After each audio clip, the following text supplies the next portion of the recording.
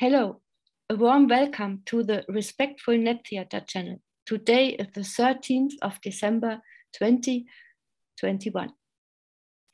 In our today's episode, we will speak about digital liveness, which is an essential topic for theatre and performance in digital cultures. We will discuss the upcoming question with two guests, uh, three guests, who are experts for our topic from different areas of research and the arts, bringing together their perspectives. I will present them just shortly, coming up with more detailed information later. We welcome Esther Hammelburg. She's a researcher and lecturer at the University of Amsterdam using an ethnographic approach for studying how liveness is established in people's practices of media use at contemporary cultural events. David Kasprowicz. He is a scholar in Media Studies and Philosophy at Rheinisch-Westfälische Technische Hochschule, RWTH Aachen, with a focus on human-robot interaction as well as on virtuality and immersion. Michael Streubig, a Berlin-based system theorist, artist, and play designer focusing on AI, digital liveness with critical humor.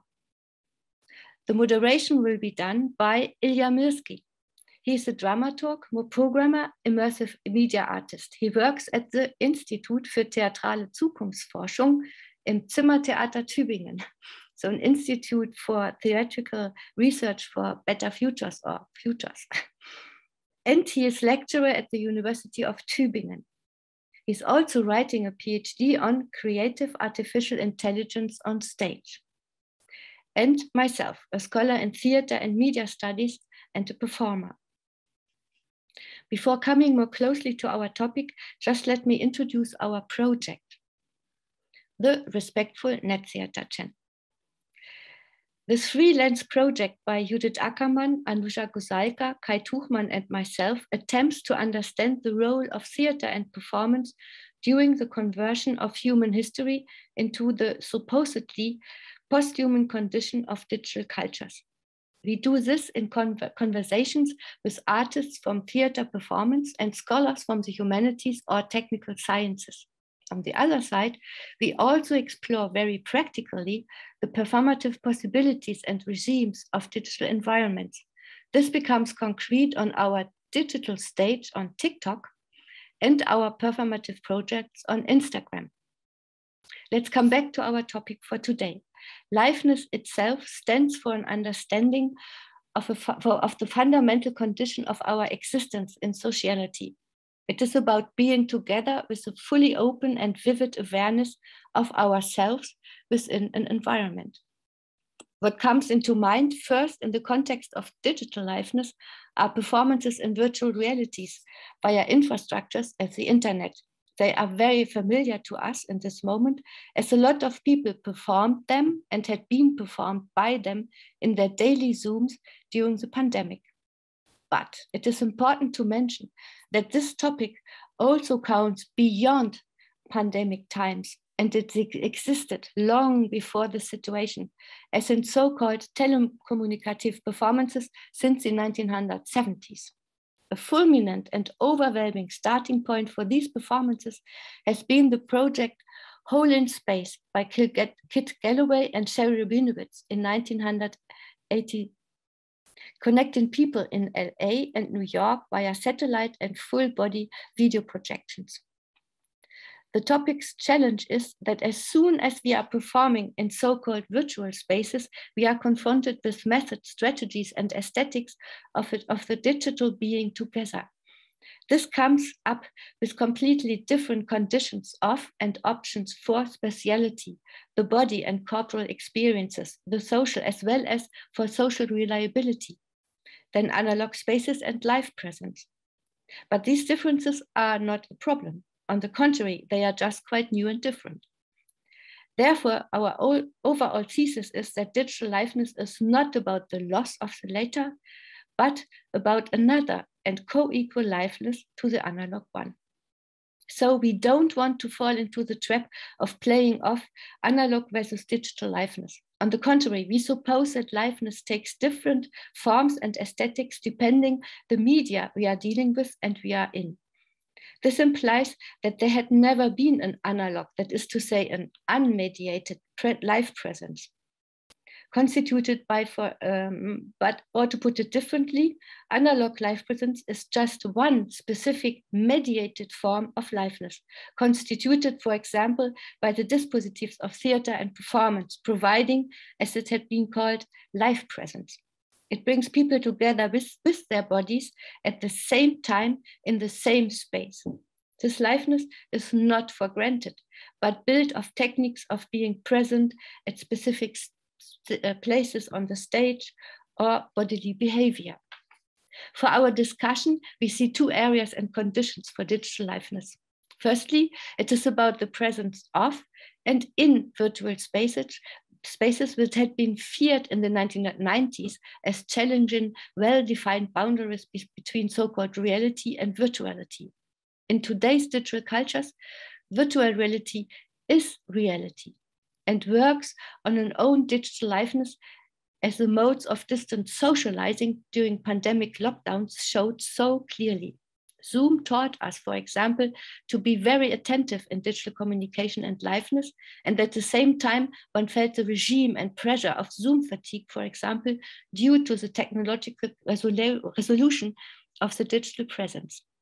Theater and performances unfolded these conditions and shape of digital liveness excessively and exemplarily by zooming, by performing via Zoom, in social media, or in VR chat rooms using avatars.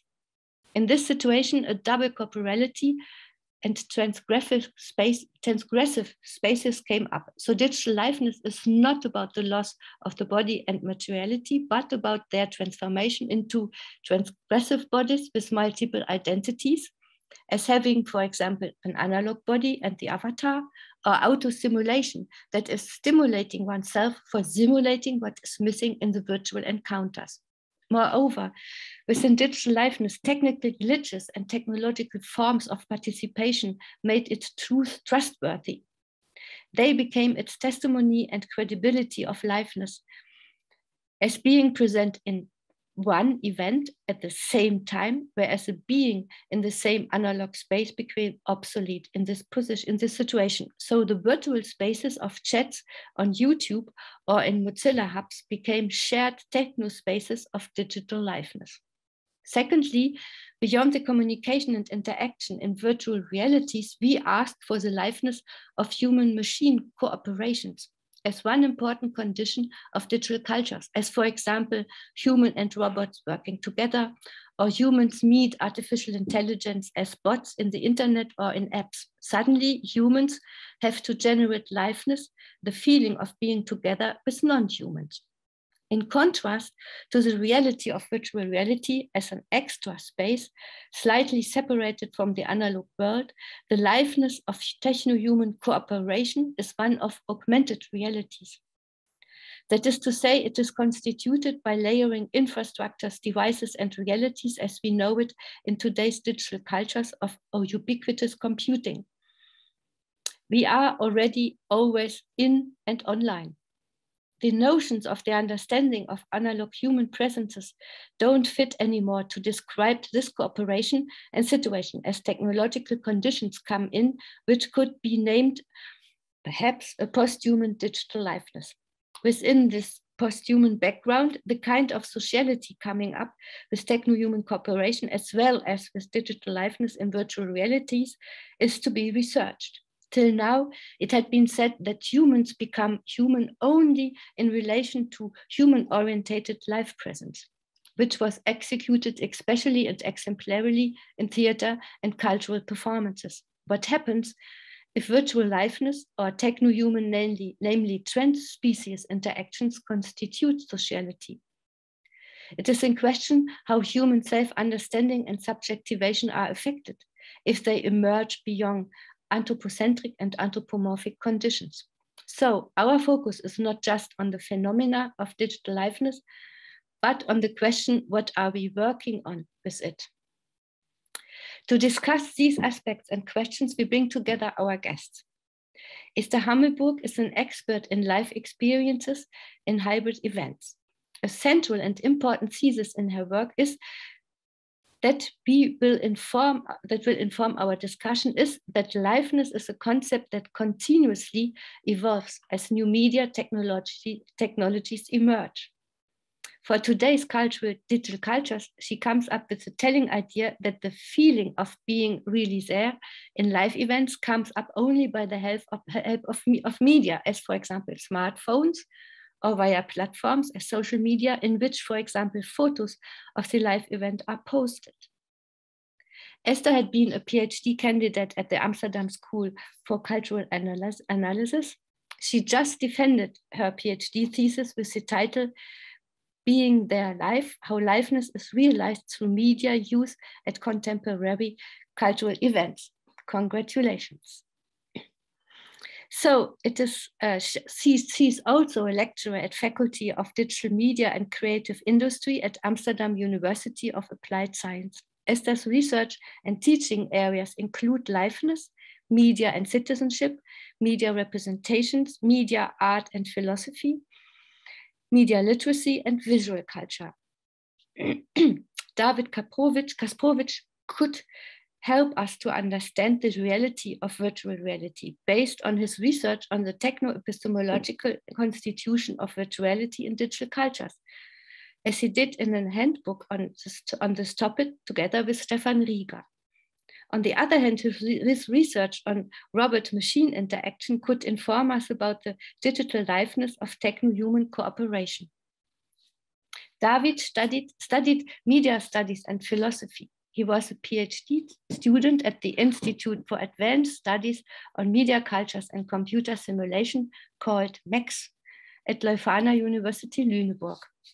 He has been a postdoc at the Chair of Theory of Science and Technology at the RWTH Aachen, which is held by Gabriele Gramelsberger, where she was also the head of the Computer Science Studies Lab. In this moment, He's a research assistant of the innovative and important Käte Hamburger Kolleg Cultures of Research, an international center for advanced studies in philosophy, sociolo sociology, and history of science and technology as RWTH, where he coordinates the fellow program. Since autumn 2021, he is a DAAD scholar at the University Rouen Normandie Department of Philosophy. His main research fields include theory and history of embodiment, immersion, and virtual reality, human robot interaction, philosophy of computer simulation, as well as phenomenology and computer science. Michael Straeubig is a Berlin based system theorist, artist, and play designer. His artistic approach of creating playful AI and imperfect VR especially interesting for the discussion of digital liveness, as it is looking for reflection on its potentials and regimes by playing around with it. Michael, Michael studied computation in German informatic at University of Erlangen-Nuremberg. He holds a practice-based PhD from the School of Art, Design and Architecture at the University of Plymouth. He has been an associate lecturer at Leuphana University Lüneburg, lecturer in game arts and design at University of Plymouth, and a lecturer at Nanjing University of the Arts in China. We will now start with short inputs of our guests of about five minutes and then follow with the discussion of our topic. And I would like to ask Esther as uh, under the topic of ladies first. to start with your input. Thank you. So thank you, uh, Martina and Ilja for the invitation to participate in this discussion. Um, as you said, on December 3rd, I received my PhD for research on how live is experienced in um, mediatized events, particularly festivals in my research. Um, and um, I would, would like to tell you a bit about what I did um, and a bit of my insights about that. And I'd like to start off with my main claim uh, coming from this re research, namely, I think there's no live without media anymore. So all of our live experiences are shaped by the media that we use. Or as we would say in media studies, my uh, academic background, that in this deeply mediatized world, live is always liveness. And then the term liveness implies that media play a formative role in the live experience. I thus claim that we should should move past the notion that there is a pure or real event as such that is then mediated. Media shape these live events and our experiences thereof. I've performed my research in three very different uh, annual events in the Netherlands. Uh, 3FM Serious Request, uh, the, the lighted glass house that you see here, uh, is a national fundraiser that is uh, both a physical event and broadcast live on radio, television, and live stream for 24 hours a day. Um, Pride Amsterdam, uh, you see the person with the big wig, is a full week of Pride related events in Amsterdam with the main event, a boat parade through the canals.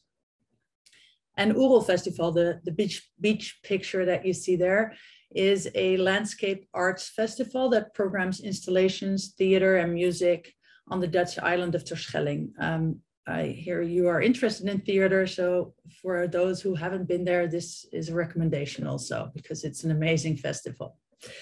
And um, these events all lasted seven to 10 days, which gave me the opportunity to immerse myself um, in these events and do thorough participatory research there.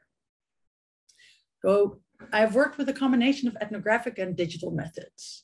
I have interviewed 379 people at these three events. Uh, some is on the ground, as you can see in these, uh, these images, but also some people who followed the events at a distance or people who had held media diaries during the event. Um, and I interviewed them afterwards. Also, I've done observations both on festival grounds um, and um, online, so particularly on Facebook and Instagram. And this follows my perspective on these events that they do not merely take place physically in, in the physical event environment, but also in various media spaces. So I've just studied the events as event spheres, uh, the full range of activities, both physical on the ground and in media environments. To supplement my ethnographic work, I have uh, used digital methods to collect and analyze more than 50,000 15,000 uh, images from Instagram and Twitter. For instance, looking at visual similarity, as you see in this image, or uh, looking at the content of these images. Here you see my visual network from my Instagram dataset for the Oerol Festival, uh, which contains over 5,000 images. So all the little dots in this image are uh, Instagram images. And you can see these are uh, automatically uh, arranged to see what topics come about or which content is prominent. Um, for Oerol, which is on, uh, takes place on an island, for instance, boats are very uh, common, which is not a typical festival image, but the selfie there as opposed to the selfie that is, of course, uh, prominent in every event that I've studied.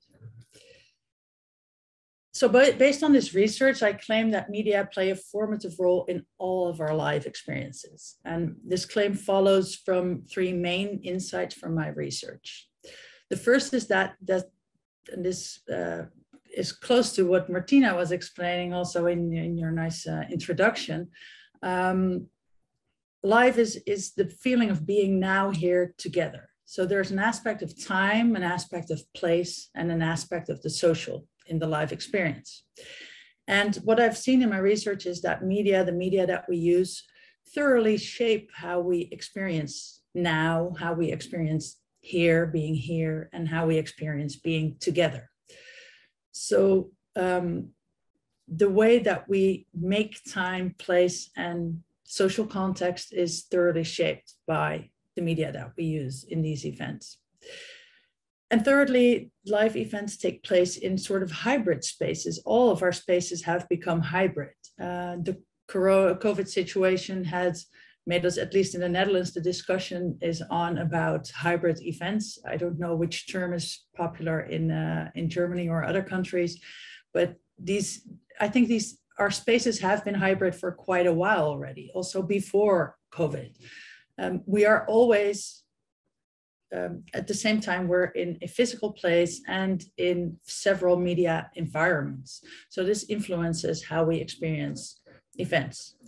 And based on these three insights, I would say does no live without media or fitting the topic of today, digital liveness is a fact. And, and I would love to discuss a bit further how media then shape these three aspects of time, place, and the social. Um, but as I was asked, I want uh, to keep this within about five minutes. I'll uh, wrap up by saying thank you very much for inviting me, and I look forward to the discussion we will have.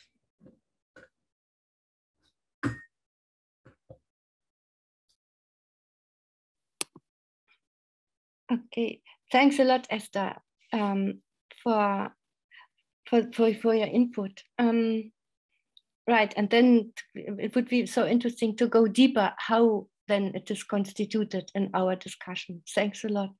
And I would like um, Michael, like being a, a scholar and an artist, to come as a second input.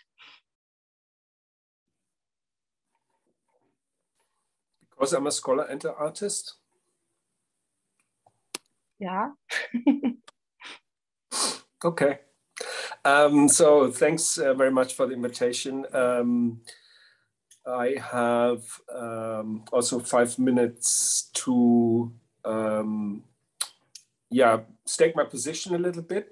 And coming from uh, a systems theoretic and pra systems practical background, uh, what I like to do is instead of um, asking what is digital liveness, um, I'm looking at it through the lens of distinctions, um, a methodology I developed um, for my PhD, and um, that has a background in, in systems theory and um, cybernetics. And so the first distinction that comes to mind is uh, distinction between digital liveness and analog liveness, which uh, is something we have been discussing, um, yeah, here, especially since the pandemic for, for a long time, but also in, in, in the context of theater. Um, and it always comes with a sort of um, uh, yeah, nostalgia uh, by, by, certain people who uh, miss the old good analog days. I think uh, Esther has, has pointed out uh, rightly that we all um, are mediated uh, creatures by now, and everything beyond the immediate physical surroundings is, is coming through media.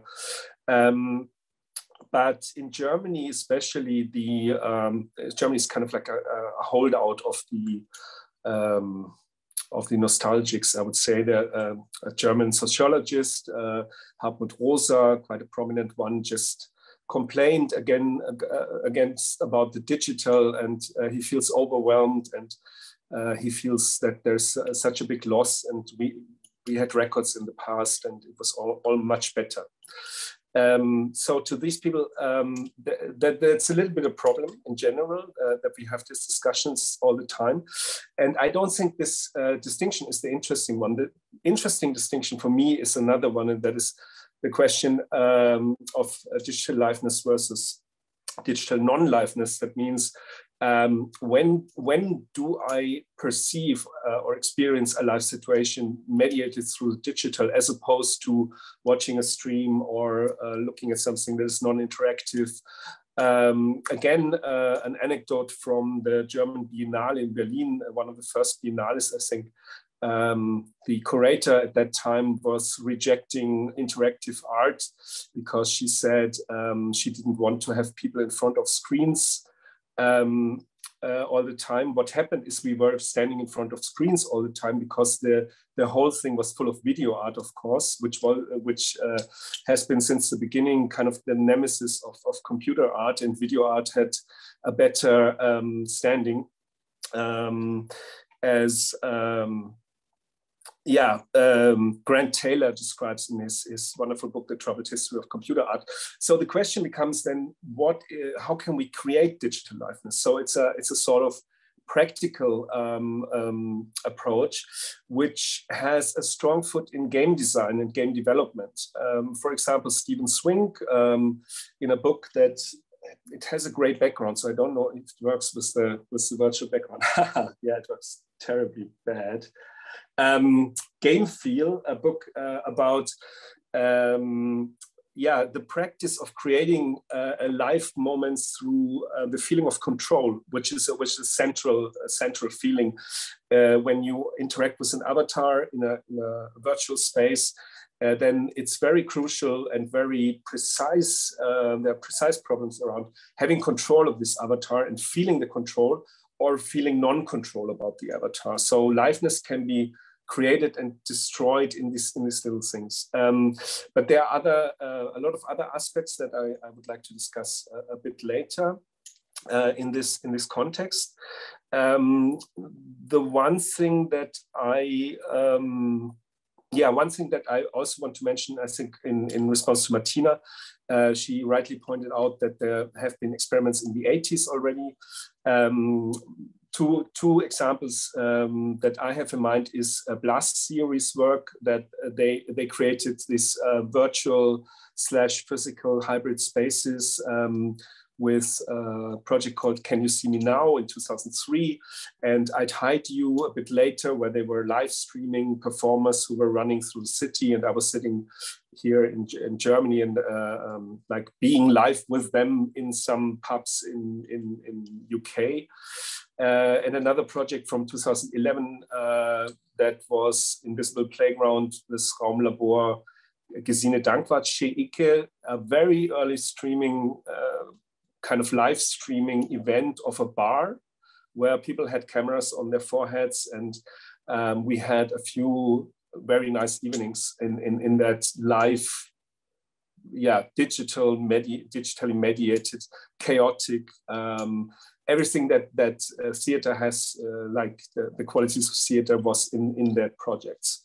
So um, yeah i'm i'm i'm happy to discuss further and um, thanks for now.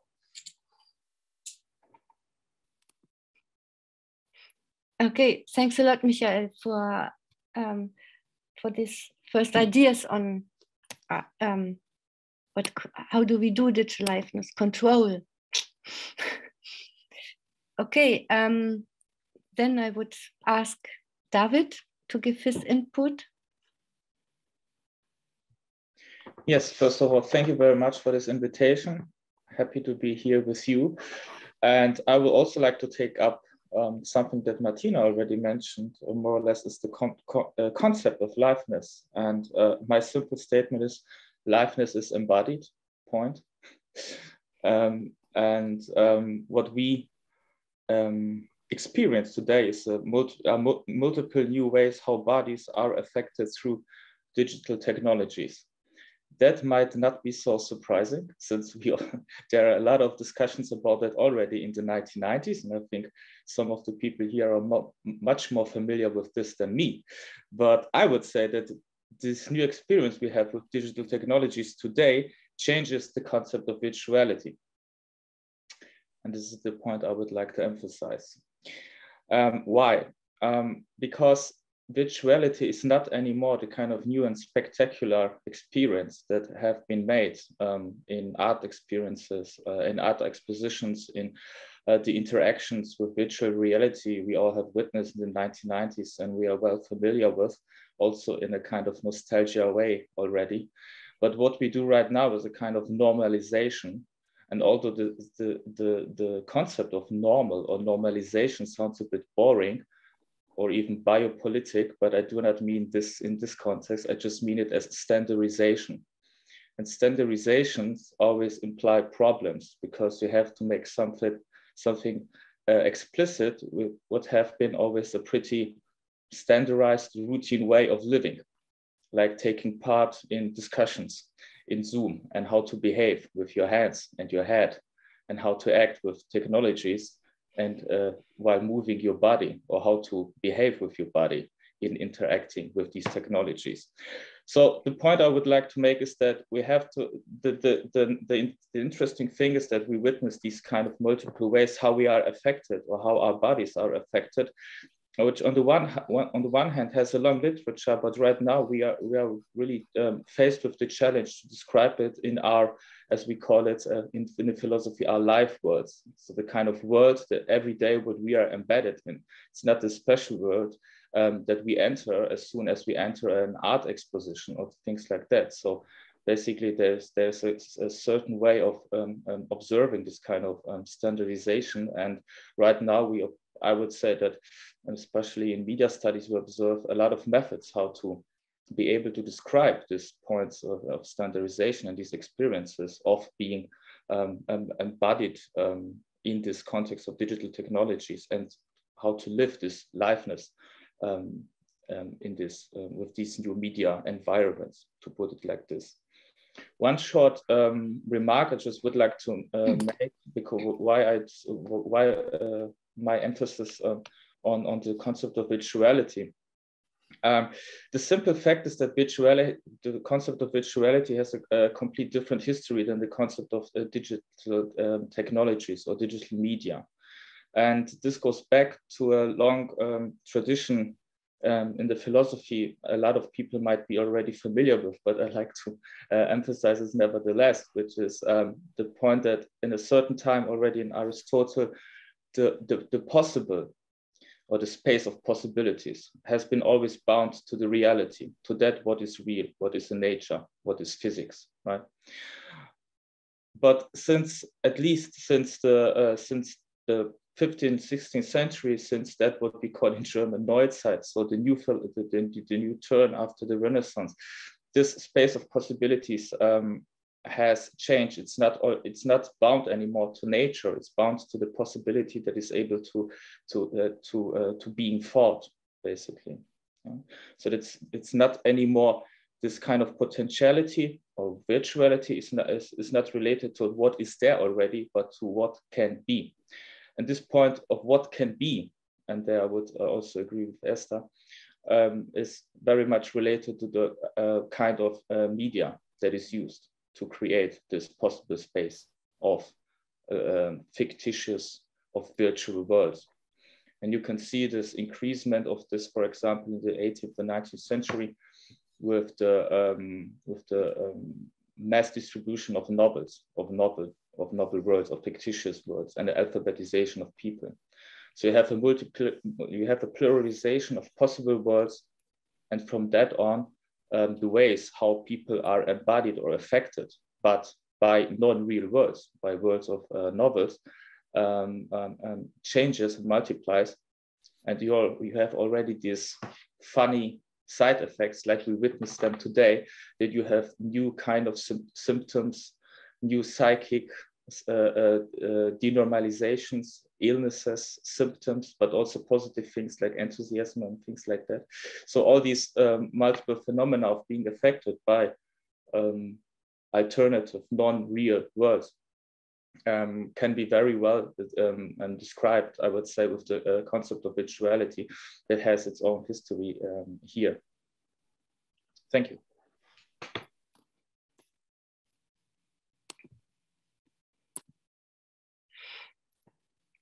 Oh, okay. Thanks a lot, David, um, for this uh, specific and important view on virtuality, which may change, uh, which may guide the, the our discussion, uh, because it's not uh, not just being in a, in a technological um, space, but um, uh, to, to to to have to deal with um, um, what could be with, in, a, in a kind of imagination and speculation, which is a, a new dimension for me. So now um, we, we, we start our discussion, and um, now it was me who speak, spoke and spoke and spoke, and now we have also Ilja to uh, to bring in questions and to to guide a, a bit the discussion if it's necessary. I'm sure Yes, so uh, thank you, Martina. Thanks also for the nice introduction and thanks for your input. And I see there are many interesting like concepts and many interesting interceptions about like virtuality as one topic. Uh, um, Michael, your like distinction between digital liveness and analog liveness, and Esther, you with your claim that there is no life without media. And um, I think that there are like I really appreciated your like uh, your patterns on your slide, Esther. And I want to ask maybe as first opener, um, uh, when we like talk about liveness today, and also Esther, you mentioned like the, all the uh, events uh, and uh, the events like you um, uh, analyzed in your PhD.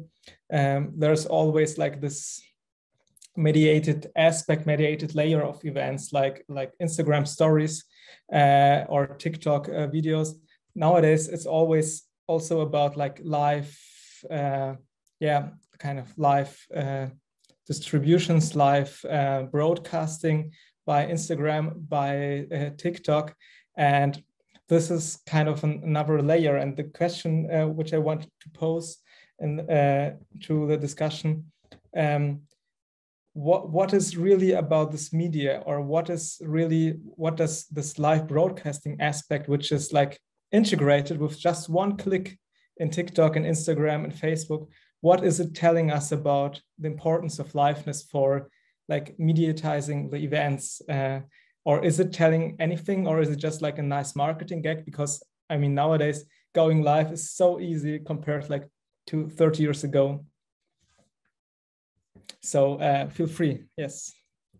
Yes uh, it's an interesting question. Thank you. I think that um, these new platforms that we use change this because a lot of our events, if you look at research into media events, uh, seminal research by Dayan and Katz, for instance, on media events, poses already the role, for instance, of television, live television broadcasting informing the event, right? So a lot of the main events that we witnessed through through television were staged also for a large part for television, for the television cameras. And these television, these shape, the, the yeah, the way that television is organized uh, has organized a lot of our large events in the past. Uh, the difference, of course, is that when I go to an event now on the ground, uh, so it's not only so that I can witness it from a distance by looking at it through live television, it's also so that when I am a witness on the ground, I can share my witnessing through these platforms um, and include other witnesses to my witnessing. So there's a sort of a layer um, introduced there, I think. So some of the, the um, workings of this liveness is not that new, I think. It is a continuation of what we have done for a long time already. Um, with the difference that it is more integrated, it has become more integrated in what we do physically as visitors to these live events, I think. Um, and of course, the, the, how these platforms are shaped this also shapes how we yeah how we shape our life experiences so how sociality for instance in that life experience is shaped so by by the question like how the platforms are shaped you mean like if i do like an instagram live and i'm in a, a nice event it's mm-hmm. like kind of being live uh, from my point of view so there's kind of another another like yeah uh, space or, or which is closer than in the past when you had like all those big broadcasting uh, uh, people companies there doing the live streaming uh, so like you mean this by how the platform is shaped? That you have got like a nice attachment of the platform of your smartphone to your kind of point of view? Or what do you mean by this? I think well also the, the way that the platform is shaped also shapes how we uh, are physically present in these life experiences. So um, similar way as that, I don't know, coronations or big events were shaped for the television cameras to capture this event in the best way. I, I noticed, for instance, in my research that people who are in uh, are present at these festivals, um, Facebook users, for instance, they walk through these events looking for some moments to then later on post as a collage. So their their life experience in the moment is shaped by their gathering of experiences to post afterwards on Facebook. While people who use more of the live uh, features, such as Instagram stories or Snapchat, are very much more um, in, in the moment videoing, and that influences their experience in that moment. So the way that we are physically present in events is also shaped by in that sense by the platforms and how the platforms afford us to post or share or um, yeah okay thank you feel free uh, david or uh, michael if you want uh, to say something because I think uh, David also the, the what, what Esther just mentioned the being being present or like kind of the embodiment uh, during a live event is kind of a very interesting thing, which like uh, points maybe also to the yeah to the fact like how is there also kind of embodiment taking place when I do a live streaming. So is yeah. there something kind of a embodying embodiment think, myself into like the live stream just because I do the live stream in a certain moment at an event? Yeah, I'm also curious about that, David, because uh, um, that's what what people have mentioned to me also in my research that the feeling of being there is it's it, it has become part of the feeling of being there, very much the embodied feeling of being there. Yeah, I would have I just have a question for the for the understanding. Do you speak of when you speak of the live stream, you mean that being be doing also this live stream or people that watch the live stream?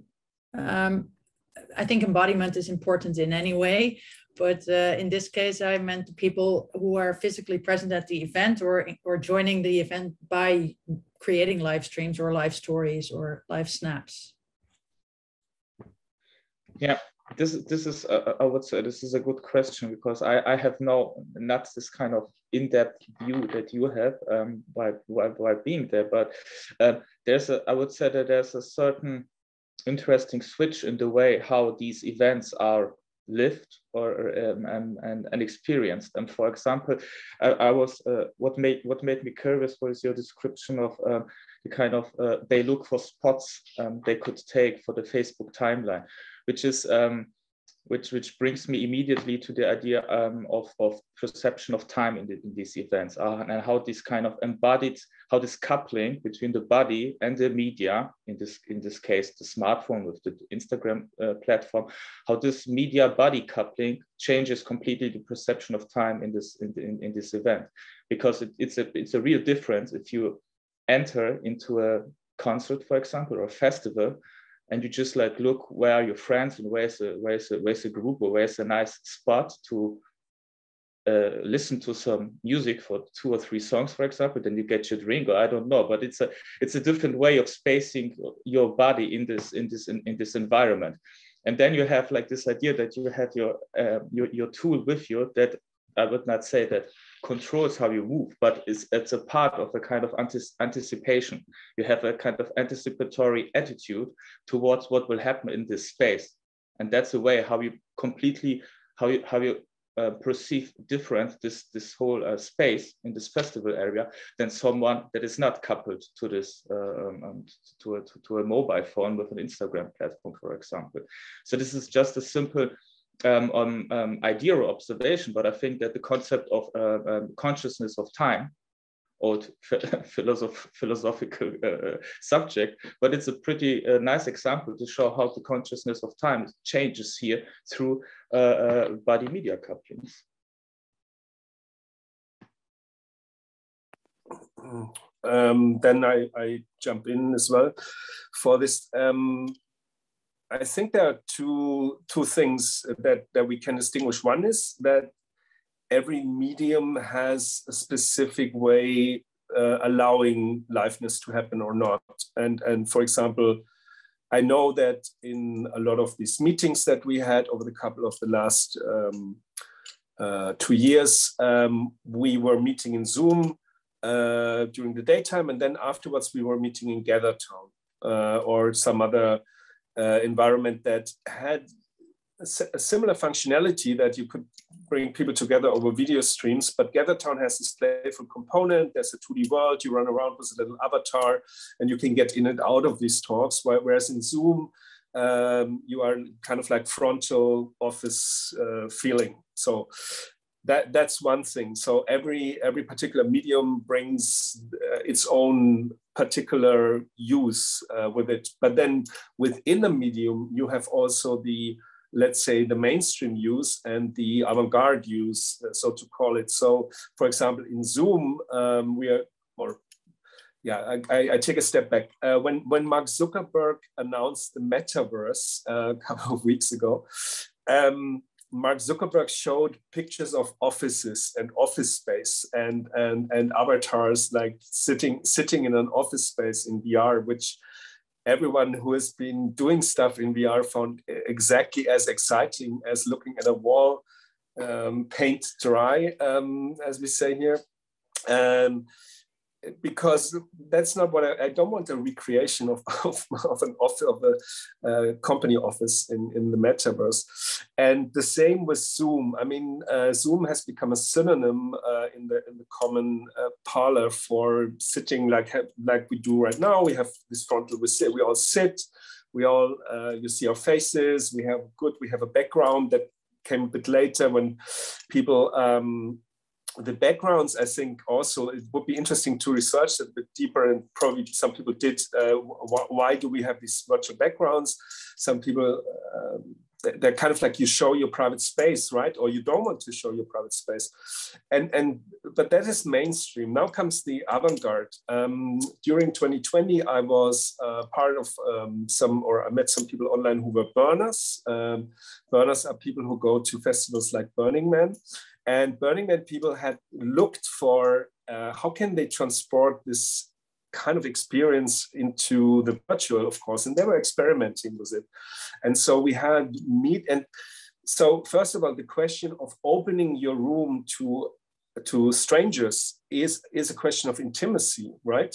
So you show your your private space to others is a is a negotiation of intimacy. What do you want to show? How do you want to are you cleaning up your room before or just show it in all its uh, normal glory? And then we had these meetings where we would like lie on the bed and um, do things and not having the camera pointed to us but just being there and knowing that other peoples are there as well and like sharing moments of liveness with intimate really intimate moment. And and this for me was kind of like another experience that showed me like this is absolutely possible. Um, also the physical spaces were quite far apart. And um, as david said a very interesting question is the matter of what does it mean uh, like temporality what what is same what is the same time? Because there is always some sort of time difference uh, th- that we know from um, for example when there's a football game i always hear the neighbors um, shouting first because they have a, a different uh, way to watch a live stream in football than i have.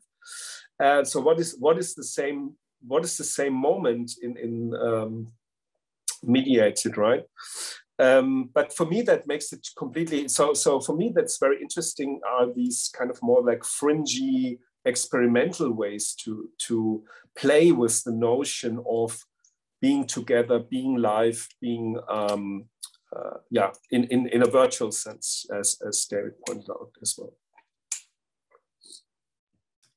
I think to, to um, continue on that, that question about time, uh, temporality. That's in my uh, thesis. I, I decided to build on the on the Greek concept of kairos, uh, or kairos, maybe in Germany you would say, um, uh, which is not clock time, but like the opportune time, right? So the right time. Uh, and I think that is what liveness is, especially when we mediate, when we experience this in mediated environments, that it is not so much about exactly at the same moment, but it is about the experience of being there at the right time when when you are also there, and we feel together socially. Um, and I agree. I, I, think this is a very interesting experiment, and I see that also in the Netherlands at the moment. Cultural um, uh, cultural festivals or events are are experimenting, especially the the smaller ones, uh, with new ways of of doing these hybrid events because in the beginning of COVID, I think a lot of people just did their physical, uh, replaced their physical events with Zoom meetings or putting then a few people on a stage and, and a camera on it. But that's not a very nice, engaging live experience, right? Um, so I've seen very nice experience with, for instance, I, I attended a meeting of the HUM, the Dutch uh, platform for internet culture that uh, Martina and I spoke about before. Um, they introduced a hybrid event where there were physical uh, visitors And I was an online visitor, for instance, and I was uh, coupled with a buddy who, uh, with her phone, showed the physical environment to me. So uh, we were, were we were sort of a team in the event, which made it into a very a totally different experience. So I could also through a live stream, for instance, see speakers speak, but I could ask her to ask questions in the room to that speaker, or she could show me art installations that are art installations that were there, and we could discuss it together, uh, as opposed to just watching it, watching it or following it. Um, and I agree that this, this created also a sort of an intimate uh, space between me and my buddy because I didn't know her beforehand. So, but I just, I was, uh, because my family was busy around me, I was sitting in my bed uh, with her on my video phone. Um, and we didn't know each other, right? So that is quite intimate, I think. And also, uh, she was in this room when the speakers were speaking, and I could just intrude into her physical environment by saying, Could you please raise your hand and ask this question to the speaker? Which is also quite intimate or direct. Uh, I think it has to has a lot to do with intimacy in that sense. You also just mentioned uh, the the body kind of uh, as also a crucial moment. And David, when you gave your five minutes pitch, you said that um, yeah, during during a live event, there's always a coupling of the body and the media. And I want to ask like one more time, is it really the body or is it maybe just the upper body or just the face? Because if we talk like about Zoom meetings or we talk about yeah the uh, Mark Zuckerberg metaverse proposals where you have the, got those avatars without feet, uh, you always kind of reduce the human body just like uh, to the face or to the upper body. It would be like funny if we just see uh, our feet or legs walking in the camera and we try to feel something about liveness. Uh, what would you say, uh, David? Is it still like a way of being embodied, or is it kind of a certain? Is it maybe not about the whole body, or um, uh, is it maybe just the face, or are there like? Do we need to kind of being more precise when talking about embodiment? Because I think there's really something in this uh, in this thing of being embodied experiencing liveness in virtual spaces like in Zoom or other platforms? Yeah, thank you. Um, I, I would say yes, we have to be precise if we want to describe these uh, these phenomena. This sounds like a classic academic phrase, but the way is the way is okay. You, you you know how it goes. Okay, people describe their experiences and experience, and at the end we ask ourselves, so what's so what's so what's the um, the, the point? That's why I would say, of course, we have to uh, describe them, and uh, also uh, that's the challenge that I've mentioned earlier. Um, find the right methods and the right concepts to, to, describe it. I think it's it's it's important for artists and and and, and scholar academic scholars as well, right? because it's also you have also to be aware to not take all these concepts from the big advertisement world around these technologies which also coexist which uh, uh, mike uh, rightly pointed out with this metaverse example. And here's also uh, uh, also uh, my argument with this with the same background where i would say of course we should talk about the body and the whole body being affected. That's why i would stick to embodiment. And i would not start to um, reduce it to facial um, um, sensations, to and to reduce it to certain sensations um, at all. Although one can make research about these sensations, but I would still say that even though you are sitting in Zoom meetings or other meetings, whatever, um, three hours, it's a completely embodied situation. It starts with the way how you sit, if you feel comfortable.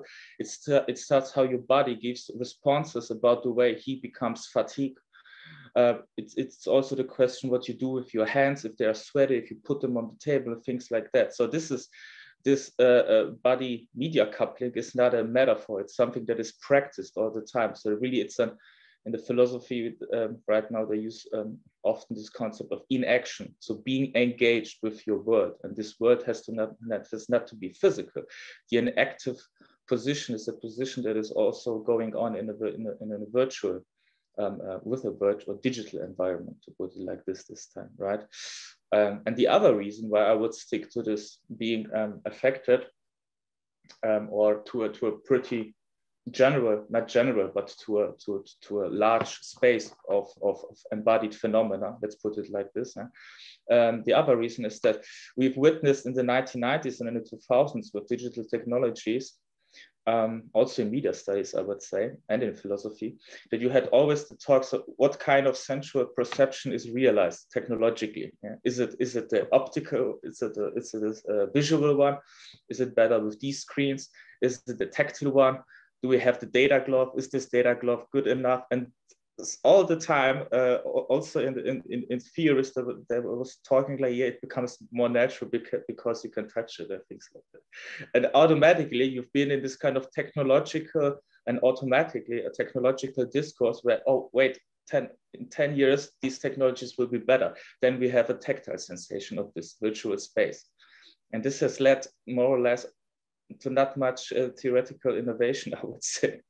Um, that's that's why I would also stick to this concept of uh, virtuality because you have the whole space how people be have been affected with these uh, uh, body media couplings, and not just to say, oh wait, in the 1990s there was this uh, virtual reality, uh, Jaron Lanier, and then we had this, and then we had this. You can you can get rid of this uh, narration. Um, I, I, I want to say absolutely the point of um, uh, the, the, one one direction is the technological one, but also this idea that oh we we have to be immersed more if if we have more pixels and so stuff. In game studies, uh, they, they, they talk about the immersive fallacy. That means uh, it's a fallacy to believe that if if there are more pixels and if there are more uh, things that uh, then then then the liveness moment comes and and it come uh, it can come uh, totally in different in different ways and, and much more low tech. And I'm I'm going to try to show you. I'm going to I'm going to make a little experiment here, um, and I have to push out my background um, for a sec. Um, trying to show you something. And so uh, this is me um, in a uh, robotic conference in um, Korea. Um, I think there was one or two years ago. And I'm here in a telepresence uh, robot.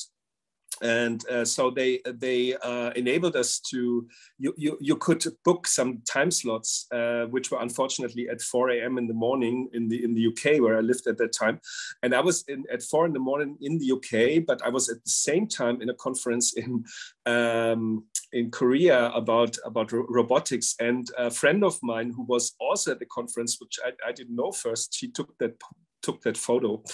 And and the thing about um, embodiment in in this case is that I um, so it was it was wonderful, strange moment, but also I expected that I could um, I, I, would be enabled to uh, drive around uh, with the with the telepresence robot, um, and I couldn't uh, because they had limited the thing that that thing stood there and the only thing i could do was so so there was an interface and i could i could uh, take the the screen up and down and that was what i was doing all the time that was going up and down and up and down so i was trying to signal to these people and uh, just to show you again uh, briefly the people were not really taking notice. I, I was thinking like everyone would stop by and, and wave and stuff like that, but most of the people didn't even take notice. Maybe it's total normal there.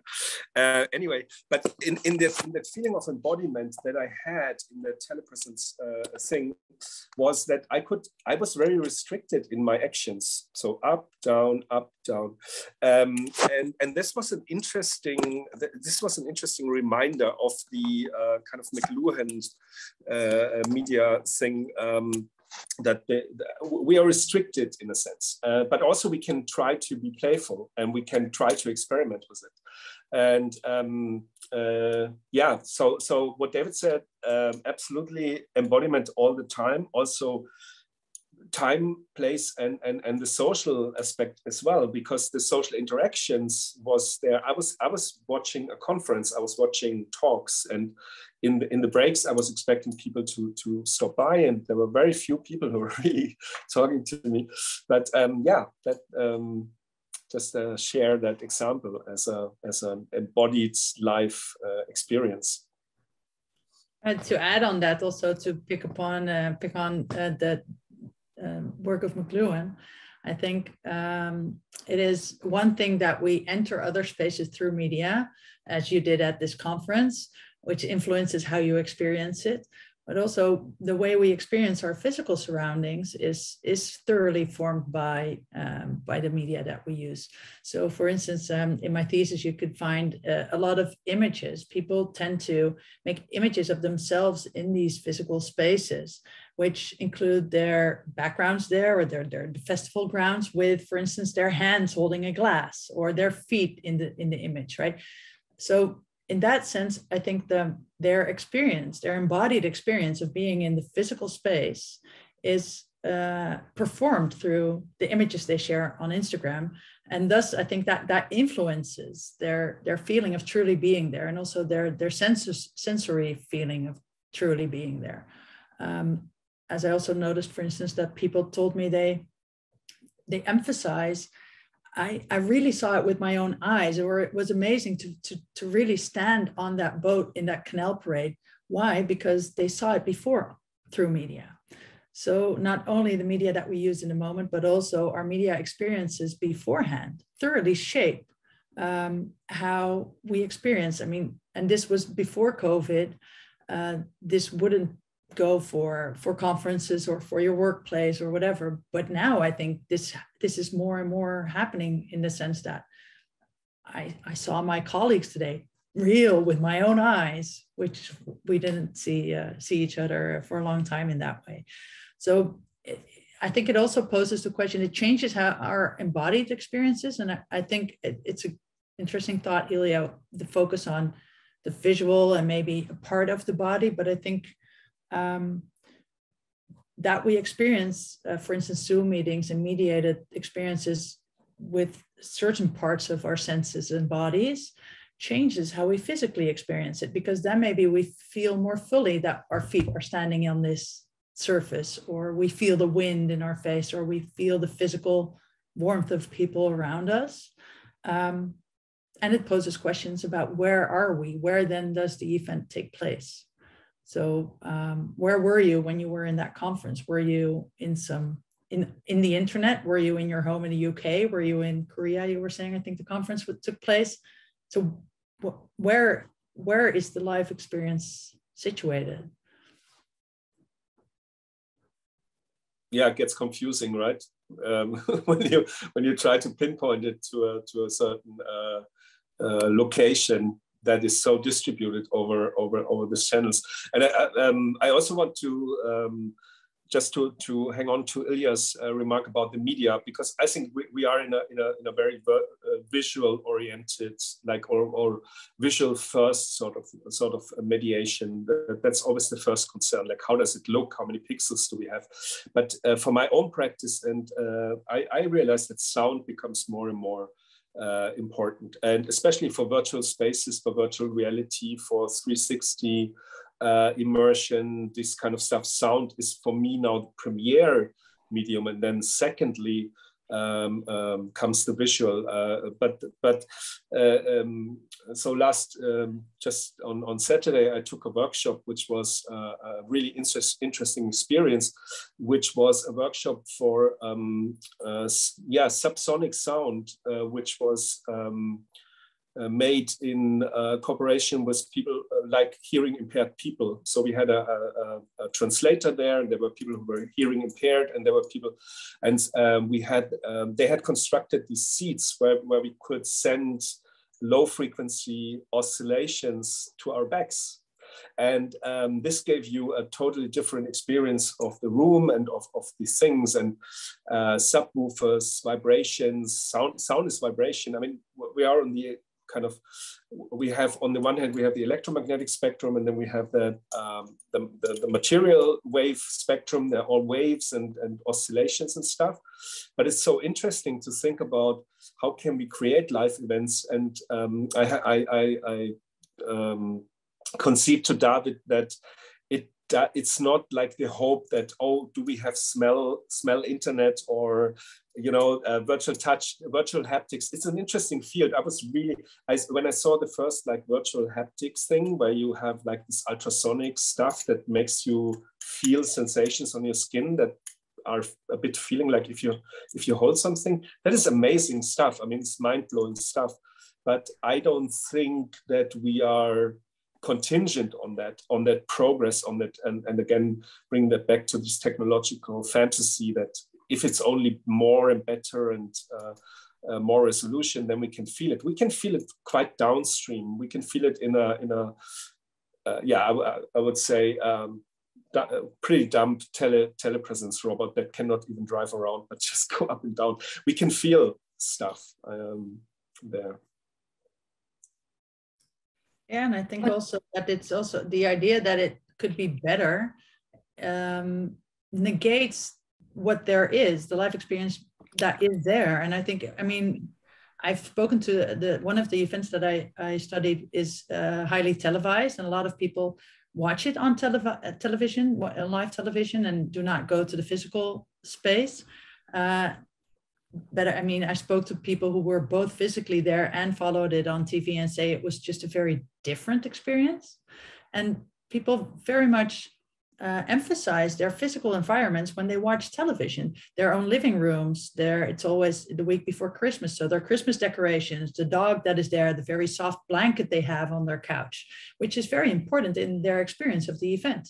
So that i, I think it's not so much about uh, negating or making the medium invisible or being able to smell how it is at that event but it's also including the physical space in which we experience these events, also when we follow them at a distance. For me, it's like now, um, this was one idea you said that um, with the with the digital liveness or the digital events or the mediated uh, uh, situations, that the physical liveness, I think Esther spoke about it like being on the boat, becomes more concrete, more important, more. And then I thought, yeah, perhaps uh, now we speak about liveness. when there was no pandemic time, we went to theater, to festivals. The festival was great, or whatever, and the performance was nice, and we, it was so normal. It was so for granted. Um, so um, perhaps we never knew what what liveness is in a way. You know what I mean? Now we start uh, to think about it. Um, yeah, it was just there. It was no no question. It was just live presence. And yes, then we have from theater studies, for example, some things like uh, from from performativity uh, studies from Erika Fischer-Lichte. It's uh, it's liminality, corporality, perception is opened and heightened and so on. But um, I think I think now it becomes much more clearer, much more complex, uh, then then if, if if we have more possibilities, more options, this I found very interesting. And the example Esther told from from being um, normally you have the normally you are uh, um, it, the example you gave from uh, you are in virtual space and there's somebody in a live or in a physical space and you ask the, the person please ask this question. This is like an inversion. Normally it's um, it is the avatar who must do something walk i'm i'm, I'm guiding or i'm tapping on my keyboard and then the avatar is walking or not walking depending how stupid i am. But then this is i found this very very interesting to to make this inversion from from from the virtual to the physical and to that's you from the from the virtual guiding uh, guiding the people in, in the physical which is um then it's becoming creepy mysterious who is it? And um yeah this is um then it's like a ghosty aspect also of, of, of liveness in a way that who knows what is between the earth and the sky to speak with um, uh, some with his uh, older ideas um, and yeah, I think also the intimacy that uh, Michael noted. I think that this intimacy is something that is very important. Mm, yeah, I would agree. Oh, sorry. Go ahead. Okay, also just just a short remark because I, I've noticed also when when you've when you've brought up this term in, in intimacy, um, because it's um, well one of these one of these maybe very at least for, from my point of view, and I think you you two uh, or, or, we all here have already a, a bit touched upon this, uh, is, is is really this idea of um, the way we are affected by actions that are done not in this not in the same space or done by these uh, uh, uh um, um, um, um, body media couplings, which are not the classical causal relationships in interactions, yeah? like typing in and then the avatar moves or things like that. Yeah. So we have like real, um, um, for example, the, with what, what, what Esther uh, uh mentioned, that we have a kind of uh, a real, uh, an action that in which we become a part of. So so this is also, that might sound pretty trivial, but on the other hand, this, this, this, this presupposes also to open up your own space. So the way to let your control go a bit. Right? Michael mentioned also this this uh, this idea of having uh, this this kind of um, feeling of control. So, the, but the point I would like to make is also with this, with this idea, how, what space do you open to a virtual space right, with your camera and the things, things like that. So this question, how you deal with your own space, with your own embodied space of intimacy, and at what point are you are you ready? Are you are you prepared to open this uh, this uh, this space? And I think these these these questions, I think that, that these are uh, these are uh, daily questions that that people that are engaged in these uh, body media couplings are are answering all the time but they do not make it explicit. It's a way just, okay, I'm the user, I'm doing this, I'm doing this, but all the time you kind of negotiate, you, you negotiate your own uh, space of uh, uh, intimacy and uh, the space how you want to be affected bodily.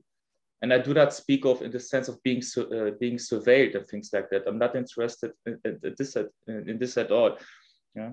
For example, to make it uh, a bit more clear, there's a, a I think a very nice word from the German philosopher Peter Sloterdijk who called this a Passivitätskompetenz. So the competence of being passive. And I think that that uh, this this concept very well because it's a, this, this, idea to, to, get away from this idea from this active user who is always typing in and then expecting that something pops out at the end of the technological chain or channel, and that's the output. Voila.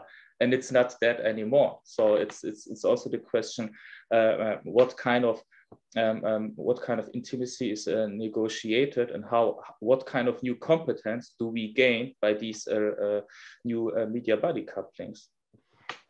That was that was my brief uh, um, intervention concerning the intimacy. Yeah I, I think for for for what we, what we just said and, and what what has been said before, uh, what Martina mentioned also, it is useful to look into the game studies actually because in in uh, in in online multiplayer games um, there there has been a, long tradition of people uh, being uh, at least temporarily present in form of their avatars. Uh, and Rune Klevjer, uh, for example, has written about avatars, the, the, the coupling of uh, the gamer body, which is which is usually a, a limited kind of input, um, as you said, Dawid, um, I press a few buttons or I, I, use a mouse, but it's also very crucial to the interaction in that virtual space, like how how how competent I am and and how I get into these things, and again also to the question of activity and passivity. Uh, there have been long, uh, long ago um, experiments with so-called not games, uh, uh game, game-like environments where you don't, where you not act like a typical active uh, gamer, but uh, um, so-called walking simulators or stuff where you just walk through a, through a landscape and there's nothing happening. You just experience it in a, in a, in a sense, and. Um, so the game studies can give us some hints to that to that thing, and I have the feeling that the that the, the theater studies are still catching up in that in in that field. Uh, but of course, the theater studies have a, a much longer also idea of um, being like the, the physical aspect of of like being on stage and and being on um, uh, and that brings me back to what uh, one of the aspects Esther mentioned, and, and, we haven't really talked about uh, is the social aspect. And the social aspect for me includes like what is the um, in, in a, in, a, performative setting, for example, what is the relationship between the performers and the so-called audience? Like, am I am I a passive uh, um, watcher of a, of a theater play in a live situation?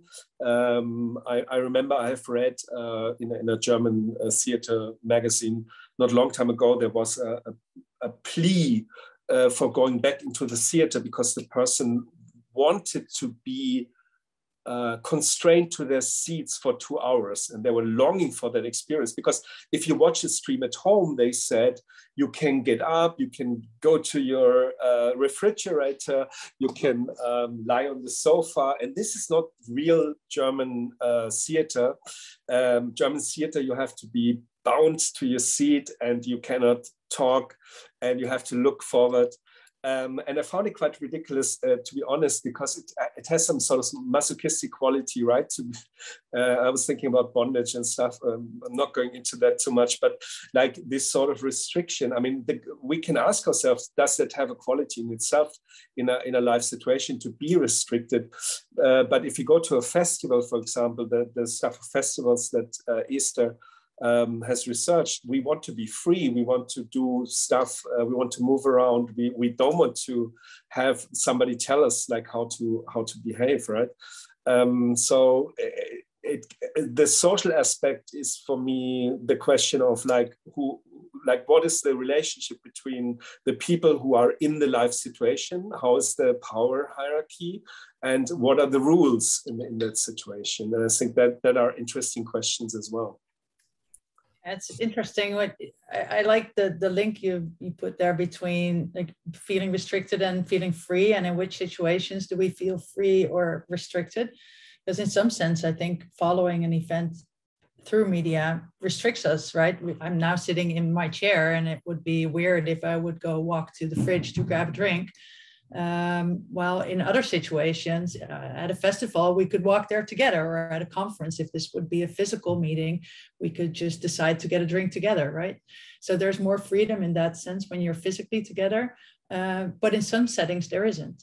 So in the theater set, setting, there isn't. And also, uh, I mean, I also teach in education, there isn't. And I think uh, what, what I see in education and in teaching, um, and I think we also see in, in theater, is that we we I think we we will need to find new competences how to how to deal with this when I am joining a class online or when I'm joining joining a theater piece online.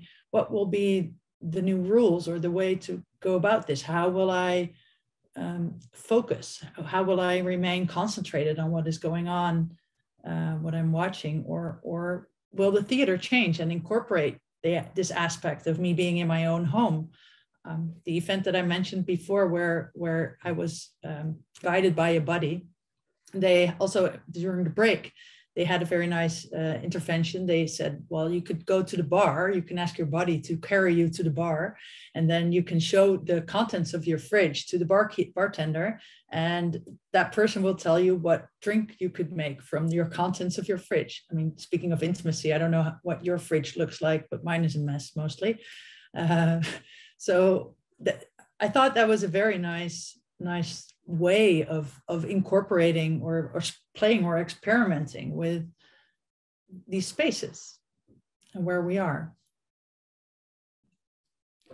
When it, when it comes to restrictions um, i always have to think about vr because uh, being like in a virtual environment it's kind of being restricted being limited uh, from all those possibilities uh, which you have around in your I quote uh, Dawid.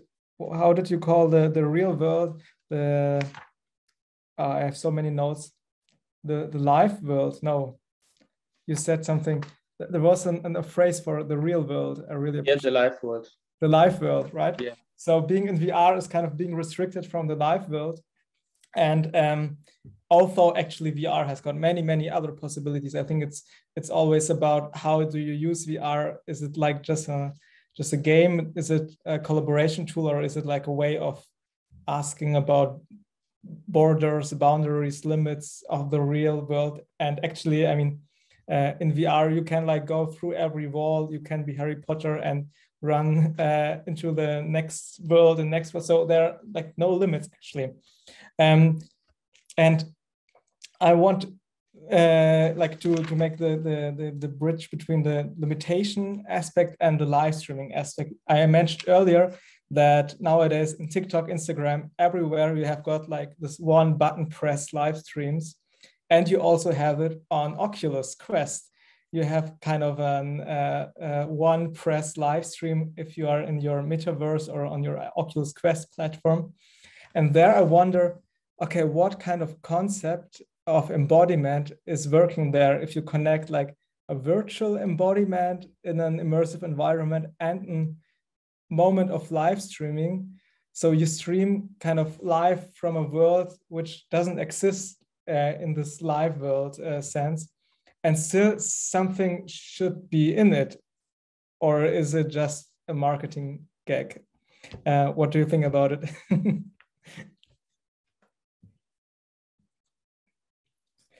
I could respond a bit in that sense that I see it happen more often and more. I mean, in gaming, as Michael referred to, I think we can learn a lot about gaming uh, from the gaming world. You see that also in Twitch, for instance, right? That people they're playing games and they live stream their gaming. There are live events organized around virtual gaming surroundings or environments. Um, and for instance, I forgot the name of the platform, but my, my colleague recently told me about his uh, he, he does um, um, biking. And there's this platform, I think maybe Zwift or something like that, where you, you bike actually, you, you connect your bike to this platform and you are in your living room, but truly biking. And then you do these virtual races. So you could drive through Rome or, or Paris or uh, whatever, Cologne. Um, uh, and also do, do games like matches against others. So you'll ride a, a, circuit in Rome, but with competitors from the Netherlands or China or the US or whatever. And that is also then again live streamed. So uh, also the, the virtual environment as as well. I could put like a, a camera webcam on myself in my living room, streaming how I am virtually racing, which incorporates so many levels of spaces and environments and and is embodied. I mean, people are actually biking and sweating um, yeah, it's very interesting. Yeah, I, I would um, remark that I don't draw the distinction between virtual and real. I, I think it's a problematic one. Uh, one is the reason that Dawid mentioned about uh, because the notion of virtual is, is a different one. Uh, I think the for me, for me, an email, for example, an email is, is a sort of virtualized communication, but the, the, the content of the email is real for me. I mean, the um, uh, the results are real. The uh, the uh, what it says is real. I act real. So even if it comes through a digital medium, it's totally real. So I don't I don't think the distinction virtual real makes sense. So I, I always talk about the distinction uh, between virtual and physical. But um, again, um, that is also not a distinction saying one or the other, because like Dawid said, these are coupled in a sense. So we, we uh, uh, or Feldenkrais said everything, and, and this for me was an interesting thought, kind of like a, a enlightenment moment and um, a small enlightenment moment. Everything we experience is through the body. So uh, even even the most banal things, like if we read, uh, uh, I don't know, our bank statements or, or, whatever, it's it's through our bodies, and and so the body is so important, and, and body work and all this stuff is so important. So there's not really the distinction doesn't really mean it's it's one or the other because when you are in VR and for me, it's always like I have an older VR headset. I always feel the cable. I always feel that the drag of the physical, and in in that sense. And when I go outside of the of the tracked space, uh, there's something happening. Um, but for me, being in a in a in a virtual environment is as real in my reality in that moment as if I'm in a physical environment. It is real. It is actually real. It's not it's not potential. It's not what could be but i'm there in that moment. And when i when i take the glasses off i'm back in that in that in that other space. So these this notion of the of the kind of like other space uh, i find i find interesting. Maybe I would just um, add to this, and I basically I agree, but the, the thing I would add to to to to, to what Ilja um, um, asked, and I'm really not familiar with these new, new metaverse applications, and this sounds really interesting to me, but I, I have the slightly feeling that I have to catch something up. Um, however, uh, this. Uh, and I, do, I don't have any kind of explanation. It's just this, this, that came to my mind. Maybe from the game of theater studies, you have something um, idea or, something on this that would would interest me a lot. Is that um, what I was asking myself that in this in this idea of this virtuality with this as if words uh, and the and the plur plurality of words that I've mentioned with, for example, uh, fictions and and maybe also artworks, exhibitions and things like that. So what we kind of what we witness now, which is obvious, but on the other hand, not so easy to explain, is kind of um, purification of these um, um, of these words through machines right? So we have this kind of these, these machines enable a certain purification. Of course, this there are this is programmed and things like that, but um, this there's a certain um, um, I don't what I don't want to say access, but a kind of an access with an A and double C um, to this plur, uh, plurality um, um, of these words, and this this this this also constitutes new new, new constellations. The way um, um, the way how we observe each other, uh, which which is a, a maybe a new phenomenon of the social in this in, in, in these metaverse examples that you've mentioned. But I really do not know how to um, um, um, how to touch uh, upon this. It's more it's more a new kind of new challenge. So that's why I would be into, uh, very curious if um, there are ideas from, from, from, from other disciplines on this. uh, I'm still in uh, in Dawid's input about virtual reality and the historical view you you gave from Aristotle to Renaissance. Uh, that it was more it was the potential linked to the physical, and then uh, it became the the potential but linked to speculation and imagination to uh, beyond. Uh, and now Michael said that for for him vr is always very physical in, in the sense he is in the sense of the embodiment um, and um, i remember when i was uh, younger from nine or ten years old my mother forced me to go to theater with her. She had an abo abonnement and we went uh, all, all two weeks and i fell in love with every actor on stage. Maybe it was a, variety of program opera operette uh, uh, actors play and so. And um, i always thought he sees only me. He's looking to me and uh, and and he sees me and he's looking that i'm looking to him. And for me this was uh, this helped me to afterwards i studied theater studies who knows but uh, in this when i was younger this was to help me to survive these theater evenings this this this laugh. Um and this uh, so my my question is this was a live event I, wasn't in VR, but uh, and then there was a VR performance by Cyberräuber in Berlin, and then I was so so shocked. The the actor, it was an opera piece they did with the theater. I don't know what, and then suddenly the the opera singer he came very near to me in this virtual space, and uh, I thought, oh, oh Lord, now he's there, this real actor, and it was uh, it, it was too near yeah so so the stage was great because it was uh, far away but suddenly this virtual actor came to me. So this um yeah so I try, what i try to understand is the relation between the potential vr as a potential um, um, and and liveness because yeah, this was was was one of the thoughts we had in the beginning to discuss digital liveness. Uh, that that the virtual becomes the re real as, as real as as other worlds. Um, but if we have this notion of potential, potentiality, does could it help us to understand digital liveness and even physical liveness? This falling in love with every actor on stage.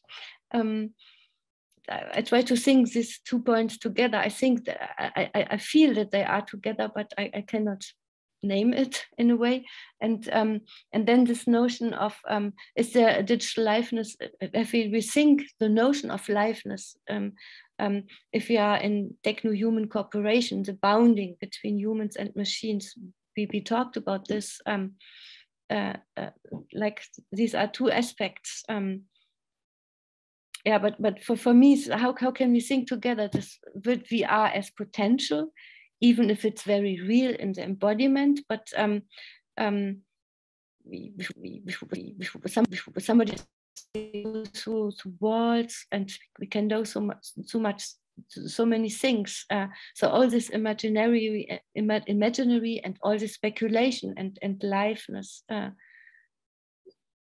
I don't know. It's not a clear question, but how to think together the, the potential, the potentiality of as, as notion, as, as a, a, a definition for virtuality and and um, and liveness.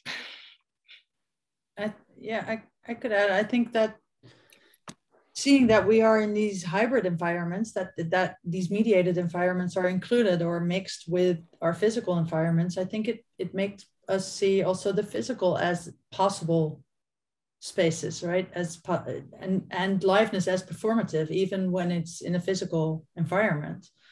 Uh, so I think in that sense, it's it's intermingling more and more, and um, it helps us to see the possibilities of being in the physical world, maybe maybe more also. I see Mike, Michael. Uh, yeah. Wanting to say something. no, I definitely, I definitely agree. I think these are um, the, the German word uh, befruchten. Um, the, these are areas that uh, can learn from each other and and and can uh, come up with, with stuff like what Martina described with her um, with her use flattery is is, is, a, is a, it's an old stage trick, right? It's it's a it's a technique of actors to make the uh, audience think that they're exactly looking at one person, right? and and but this this can be this can be practiced and that where i'm coming back to the to the uh, practice of game design and, and uh, where or, or vr uh, design ui ux uh, stuff where you where you um, practice these these techniques um, and I also think about this intermingling uh, that Esther that you just said. I, I, just phrase it a bit differently. I, I, I, I want to answer to Martina. Don't look for definitions. Forget them uh, they don't make sense. Um, uh, look for distinctions. So look for look for uh, things that what, what is X as opposed to Y, and then go from there. Uh, it's it's much it's a, it's a much better approach. Um, so so we don't need to define something, right? Uh, we just can can move through that space of intermingling things and and observe what, what is what is happening there. Um, that would be my answer. Yeah, and I, I think also returning to the aspect of, of sociality or the social space that you are in, social context that you are in, this intermingling, um, it creates these questions of, of intimacy or also who is included in, in your experience. I mean, when you're in a theater in the audience, the audience is quite clear, right? You, you're sitting there together. Uh, and the distance is also clear between the people on stage and the people in the audience. And I think this is this is changing as um, we bring in other audiences or people or our social bonds into the experiences that we are in. Um, in these events, I noticed that people bring in their mothers through with whom they communicate through via WhatsApp or, or whatever when they're there, or uh, they they deliberately pause some communications with others to focus on being in the social space of the crowd on the ground but also sometimes include others. Uh, for instance, in Pride, I noticed this very much that people through hashtags connect to a worldwide community through which they they they experience even more that they're there for a cause or in certain social environment. So I think also the, the notion of audiences and publics and, and social contexts in which we experience, have our life experiences are very much influenced in that sense by, um, yeah, by, by the media we use and by this intermingling. Yeah, uh, I, I would agree. Maybe just um, one, one thing um, to the experience of Martina. um, uh, big concept, but uh, what always comes also with uh, new with new media are new ways of experiencing a contingency. So you kind of you never know how you will make your experience. And there's also this question of control and feeling of control, or this certain space where you have to let loose your control to be um, um, um, affected. I just mentioned this because uh, because you've mentioned the the, the, the idea of, uh, of this potentiality, and uh, uh, somehow the one who makes kind of historical claims has also explained them a bit. So that's why I just just, just come back to this example with uh, uh, uh going away from this uh, Aristotelian idea of virtuality and being able as and this is also also I would say as as, as a technology technological being as humans are uh, to create this world of possibilities you always have to face the fact that you um, will encounter a new a new contingency because you do not know what will expect you and this is the kind of uh, um, a very very old i would say but uh, uh, always reappearing experience of humans with their own technologies that they would like to um, hide between their mastering and their, their, technical functionalities. But this is something we always have to stay um, open to. Uh, not always in a, in, a, in, a, in a bad sense, in the way of kind of how to look that we can avoid uh, uh, bad consequences or, or psychic illnesses through media use or media body couplings and things like that. We just witness the fact that we as living and also dying entities, um, um, the, the, way how we experience these couplings uh, depends also on the fact that we are uh, um, um entities that end at a certain point and that are faced with contingency. And that's what living is always about, whether more or less uh, uh, technological. And this was also one of these big questions um, in this 15th and 16th uh, century switch from the virtuality that uh, was cut off from the nature and also from God who created nature. So if you have no authority who is responsible for all this creation and the things you will face in your life, then you're and it's up to your own to face contingency and to be responsible for this in a certain way or to deal about the way how you are responsible for this, which is also a social question. But the thing I would like to uh, would like to point to, it's also we should not forget in all these ideas about digital liveness that's still the, the, the, fact that we face new contingencies and that all these we, we should also be kind of open for these contingencies. Uh, that's because there's also a way how to how to learn um, to live with this these these new um, um, um technical environments